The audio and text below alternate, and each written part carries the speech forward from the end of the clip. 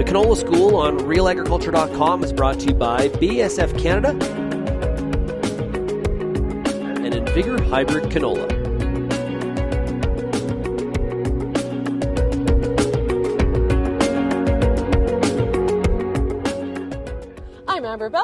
Is Real Agriculture. Standing here today with Mike Palmier of MNP Ag Intellect. He is a partner and agronomist with the company. We're going to be speaking about trash management in canola when you've been running cereals prior. So, welcome, Mike. It's great to see you. Absolutely. Thanks for having me. Tell me a little bit about what you consider good trash management. Well, so I mean, it's uh, it's kind of a broad topic because it's not just you know trying to uh, get good canola establishment that spring. It's uh, preparing it the fall before to be able to to be able to seed into it properly. Uh, we're based out of West Central Saskatchewan, so we're always focused on trying to capture as much water and snow as we possibly can. So one of the things that we try to do is leave our cereal stubble as tall as we can when we're harvesting uh, the fall before. Uh, in that way, we can catch as much snow and as much water as we possibly can as well, if we can place that canola uh, precisely between those rows, uh, we should be able to have a little bit of shelter from some of the abiotic stresses that we get, uh, like uh, direct, you know, direct sunlight early on with seed, seedlings, try to protect them from the wind, those types of things. And so that would be the number one is, you know, try to maintain your stubble, try to have it as tall as possible, but still be able to seed into it. So then the second one is uh, setting your air drill up to be able to precisely place those canola seeds. Uh, so one thing that we're focused on uh, is doing precise inter-row seeding as much as possible. You won't get a better seeding job uh, with canola than going right in between those rows.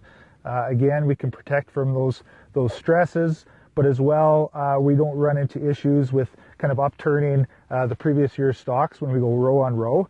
Um, so that would be a, another one. And, and, one I would say too is, you know, just manage those straws. Check your choppers. Uh, make sure that they're in good shape the fall before. Uh, if you're doing a harrow pass in the fall, I would say, you know, try not to be too aggressive with the harrow. I find uh, the farmers sometimes have a, a, tendency where they really want to turn dirt. Uh, and so they get really aggressive with the harrow. And where do they lose their, their stubble? They lose their stubble on the hilltops, which is actually where we want them the most. And so try to be gentle with that, understand what the purpose of the harrow pass is. It's to spread out your straw evenly, try to chop it up a little bit. It's not to actually turn soil. Uh, and those would be the, the things that I would do to set up uh, a crop for success. So at what point would you say that that harrowing is too aggressive? Uh, I would say honestly, if you're if you're actively turning soil and you can see that you are disrupting the stubble and the stubble height and knocking it down, uh, then I would try to um, try to try to lessen up the pressure on that harrow. Yeah. Right. And then, how difficult is it to seed directly between the rows? It can be very difficult. It really depends on the topography of your land. The field that we're on here is uh, is uh, you know fairly flat, slightly undulating, I guess you would say. Uh, and so, on a field like this, it would be maybe a little bit less difficult. But if you had a lot of topography, it can be a challenge, uh, especially with uh, you know some of the large uh, drill carts and, and liquid caddies that go behind. There's a lot of weight kind of pulling.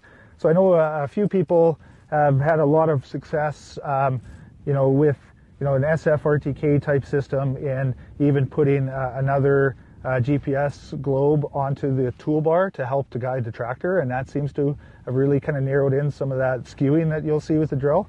Uh, so it's a it's an investment, mm-hmm. I would say. Uh, and the key with with your GPS signal is to to to get a good one because what you want is to be able to have that repeatability year over year so that next year you can just shift your line and off you go. A little bit, right? That makes sense. And what is the economical return, or do you know on, you know, making sure that you get that right? yeah, I would say it's not always cut and dried, right? It really depends. There's a lot of different factors that, that go into, say, the agronomy within that.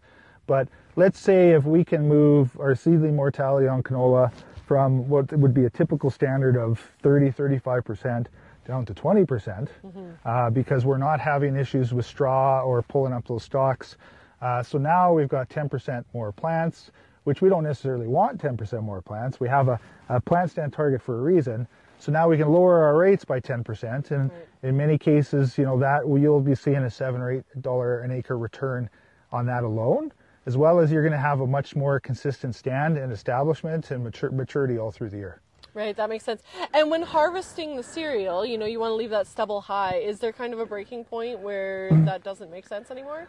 Yeah, it, it really depends on you. You've got to be aware of what your uh, your drill and opener style uh, can get through for straw. Uh, you've got to understand, I guess, you know, can you do a precise job of seeding within that? Mm-hmm. and you know, there, you know, as you get taller stubble, the value of that will kind of flatline over time. It really depends on, you know, what's your average snowfall.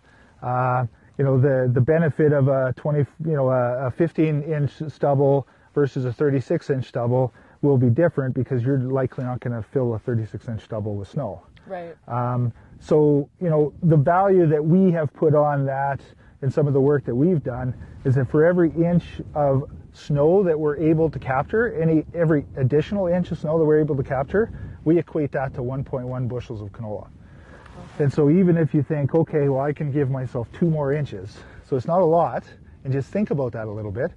It's 2.2 bushels, which in today's market is 30, $31 an acre.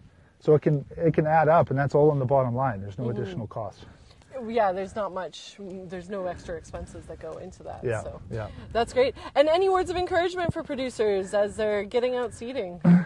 right now, the soil conditions are good. Uh, I hope we get some rain in our area here soon because right now we're, we're in excellent shape, uh, but I'm concerned about it drying out. So the main thing is be timely. Mm-hmm. Uh, hopefully, you've got a great plan going into the season. Uh, have a target plant stand, a proper target plant stand uh, to be able to manage your costs as well as uh, your your crop potential, and uh, also try not to work yourself too hard, and uh, um, try to you know relieve a little bit of stress where you can. That's great. Well, thank you so much. And that was Mike Palmier on Canola School.